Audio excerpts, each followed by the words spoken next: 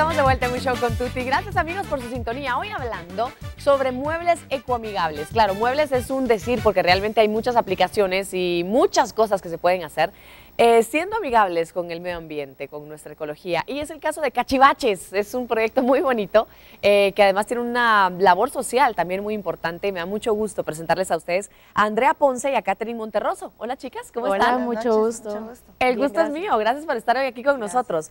Hablemos un poquito de Cachivaches. Andrea, voy a empezar contigo. ¿Cómo surge? Con mucho gusto. Pues eh, fíjate que eh, en lo personal, para mí siempre ha sido una pasión la naturaleza. Es como lo que me mueve, lo que me hace ser, digamos. Entonces, pues hace poco tiempo empecé con una empresa de energía solar. Fue ahí donde empezó a surgir toda la idea de, de trabajar en algo sustentable, ¿verdad? Entonces, eh, pues con Katy somos mejores amigas, entonces fue ahí donde empezó a surgir la idea como de hagamos algo juntas, pero hagamos algo que haga un cambio, hagamos Claro. algo que no sea solo algo más, sino algo que sea algo bueno para Guatemala, ¿verdad? Entonces, eh, pues vimos que teníamos demasiados desechos en la casa y no sabíamos qué hacer con ellos. Eh, la verdad yo me sentía mal cada vez que tirábamos tanta basura porque yo sabía que eso iba a parar o al mar o al basurero y es una gran contaminación. Entonces, pues fue ahí donde empezamos a, a- a pensar ideas, ¿verdad? Entonces queríamos que fuera algo creativo, algo artístico, con color y todo. Entonces fue ahí donde empezaron a surgir las ideas y pues estos son los resultados, ¿verdad? A ver, hablemos un poquito de estos muebles que tenemos aquí a los costados, porque yo no puedo creer que esto, por ejemplo, y usted lo ve ahí ya de cerquita, está hecho de cartón de huevos. ¿Cómo le surgió la idea de hacer esto? Y aquí yo me puedo sentar Sí, Sí. y no me caigo. No, Vamos a hacer la prueba para la que prueba. mire, para que mire que sí funciona. 100% Y si me caigo- comprobado. Si me caigo, me recogen, por favor. ¿Y no se mueve? No, Y no me estoy hundiendo. no. Muy bien, muy No, bien. sí. Perfecto. Sí, y ¿Cómo es, solo cartón de huevo y la decoración que tiene encima. Lo, lo que tiene extra es solo pintura, pintura de agua, de la más básica, y la pintura hace que el cartón se vuelva más duro. Entonces, es la, por eso uno se puede sentar y de todo que no se hunde. Y es solo cartón. De verdad, eh, tratamos la manera de, de que las cosas que hacemos lleven la menos cantidad de productos añadidos a Ajá. lo que ya es reciclado, ¿verdad? Porque la, la idea es ayudar, entonces no seguir consumiendo. Eh, las cosas que tenemos acá, sí es solo la decoración, lo que está, o color, lo que le damos, pero tratamos de utilizar productos 100% reciclados. Claro. Sí, como te puedes dar cuenta, por ejemplo, la, la decoración que tenemos acá son latas, ¿verdad? Ajá. Entonces, solo de partirlos como en Los candelabros que tenemos acá. sí, que le dan una luz y sí, sí, sí, sí. No, y estas son botellas, ¿verdad? Entonces, em, pues son como jardineras, ¿verdad? Claro. Que se pueden echar tierra. Y plantitas, lo que sea. Ajá, y como este, ¿verdad? Que es como adorno para fotos y aquel que es un marco de fotos Está también. lindo. Que ese es especial, ¿verdad? Ese es especial, salió de una noche de trabajo y dije, bueno, ¿qué tenemos acá? Cartón, revistas, miremos qué hacemos. Y después de dos horas de, de trabajo salió el, el marco y fue así como, bueno, ¿qué Está hacemos con él? lindo, sí. Sí, Gracias. No, y es especial por todo lo que, lo que trajo con, con ello también, porque pues te comentaba que, que trabajamos con algunas comunidades, escuelas, centros de apoyo, ¿verdad? Entonces, eh, pues esto le enseñamos a hacer a, algunos niños. Eh, ellos lo hicieron cada uno con su estilo, ¿verdad? Y después, pues, es una fuente de trabajo para ellos, es un método de, de tener ingresos, ¿verdad? También Claro. para ellos y para su Claro. familia. Entonces, por eso es especial también, ¿verdad? Porque anduvo en las manos de todos los niños cuando estábamos trabajando Sí. con ellos. Entonces ustedes de esta manera también crean conciencia en los pequeños, en, en ayudarlos, bueno, a, a sus familias, comunidades que, que tienen algún tipo de necesidad económica, entiendo, y que a través de materiales que no tienen que gastar nada, al contrario, materiales que muchas personas desechan, ellos pueden sacar todavía algo Exacto. para ayudarse. Sí, de Sí. hecho hemos trabajado en una comunidad en Santa Catarina Pinula. Eh, hemos ido a capacitar las escuelas, a enseñarle a los niños qué es el reciclaje, para qué sirve, cómo lo pueden hacer. Y los niños felices, ¿verdad? De, de llevar a ellos su, su bolsita, porque ellos ya entienden de que están ayudando al medio ambiente y que es para su futuro, ¿verdad? Entonces, eh, aparte de, de capacitar las escuelas, hay un centro de apoyo donde reunimos a los niños, damos algún taller, ¿verdad? Donde les enseñamos a hacer un producto y eh, pues este taller se, se mantiene solo con voluntariado, entonces no tienen ingresos. Lo que hacen los niños es, después de que les enseñamos, ellos fabrican el producto, digamos, por unas semanas Ajá. y luego las venden. hacen como ferias o, tardes deportivas, no sé, y los venden para crear ingresos para el centro de, de- de a- de apoyo, ¿verdad? ¡Qué Entonces, para la las impresoras, para papel, cuadernos y todo lo que ellos van necesitando, van creando sus ingresos con los productos que les hemos enseñado. Claro, me parece que son muy buenas ideas aplicadas a lo que surja en el momento, puede ser un mueble, puede ser un adorno, estas botellas que también estamos viendo aquí. ¿Qué es lo Sí. blanquito que tiene la flor, digamos? ¿Qué es? Es naranja. Es naranja. Naranja, sí. Y los pétalos son los gajitos, ya la vi, ya la vi, la abierta se ve más clara. Sí, es naranja, que solo está pintada, ¿verdad? Y esas son botellas que nada más es de irle dando el, el toque ahí, ¿verdad? Con colores y todo, pero se pueden hacer miles de estilos, de Claro. colores, con palabras. O sea, la verdad es que se puede jugar con colores y con creatividad. Esto, esto es una buena oportunidad como para sacar la creatividad que uno lleva adentro, ¿verdad? O el niño que uno lleva adentro, Sí. digamos.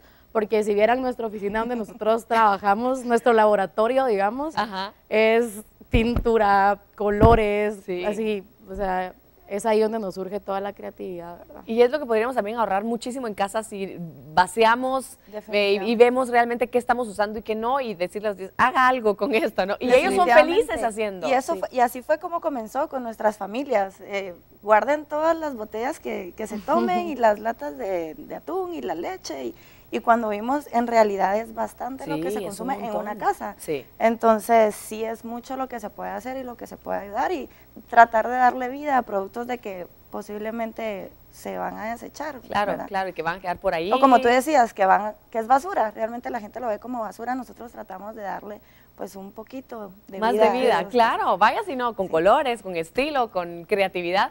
Cachivaches, lo- la información de estas dos chicas tan ingeniosas está apareciendo en su pantalla para que por favor las contacte y vea qué cosas más eh, tienen ellas a su disposición. Gracias por estar con Gracias nosotros. a Gracias a ti. Qué gusto conocer su inquietud, su pasión, no solamente por hacer cosas, sino también por enseñar, por dejar, por apoyar a otras personas. Eso es muy lindo, muy loable. Gracias. Sí, ahí Muy- estamos a las órdenes. Perfecto, muchas gracias. Nosotros seguimos compartiendo con ustedes de otros proyectos que encontramos por ahí que tienen que ver con esto de los muebles ecoamigables.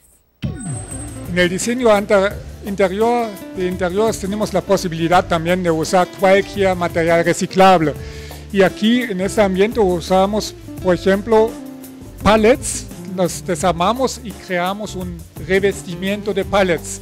Aquí hicimos un par de muebles, como se dan cuenta, es un mueble bien sólido que aguanta no solamente la persona allá, sino también tres, cuatro latas de cerveza. Entonces es bien, bien rústico, bien sólido, pero tiene su encanto.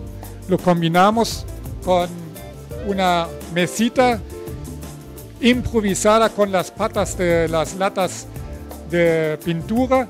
Y como así, como ustedes se dan cuenta, hemos creado un ambiente acogedor, integrando aquí un banquillo solo hecho de pallets, material reciclado. En este caso con, los, con la madera de los pallets eh, ganamos un par de cuestiones. Una de las cuestiones es que es sumamente económico y usamos madera que generalmente ya no se usa. Creo que es algo bien favorable como un toque especial para dar un ambiente particular de recreo, algo de chispa.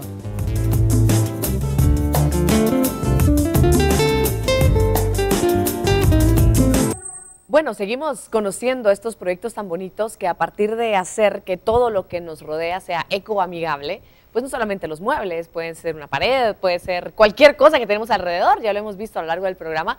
Y no es la excepción con quien voy a hablar, él es el arquitecto Jorge Villatoro. Jorge, bienvenido, ¿cómo estás? Bien, bien, muchas gracias. Buenas noches. Buenas noches, un gusto tenerte por acá.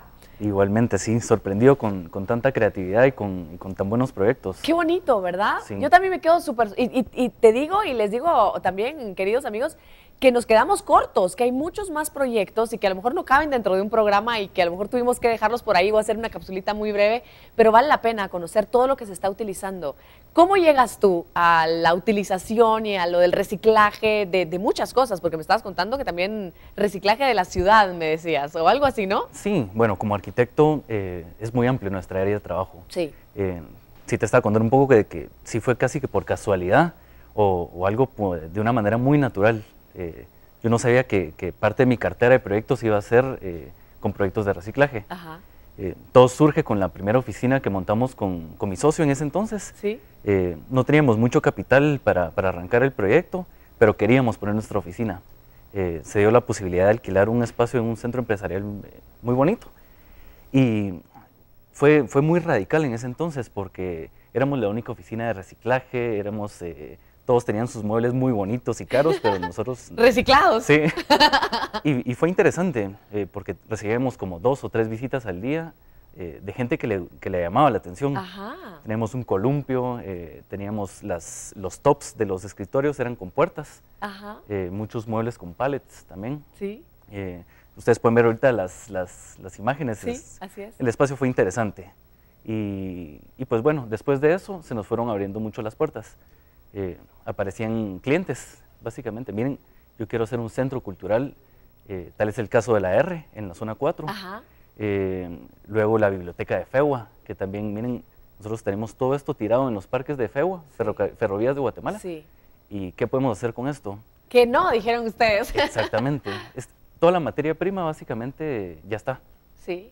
Eh, claro, no es, no, es, no es regalado porque hay que meter mano de obra, hay que meter tecnología, pero, pero ya se cuenta con los primeros recursos. Qué bonito. A partir de esto empiezas tú a, obviamente, a enfocarte más en, en cómo también util- reutilizar espacios. Eh, me hablabas un poquito de los espacios públicos también. Sí. Cuéntame un poco de esto. Sí, eh, básicamente eh, uno como arquitecto siempre está inquieto porque uno está pensando en los espacios. Ajá. Más que, en el, más que en el mueble o en el artefacto, uno está pensando en cómo transformar el espacio. Siempre teniendo una crítica, una crítica constructiva de cómo podemos mejorar eh, nuestra ciudad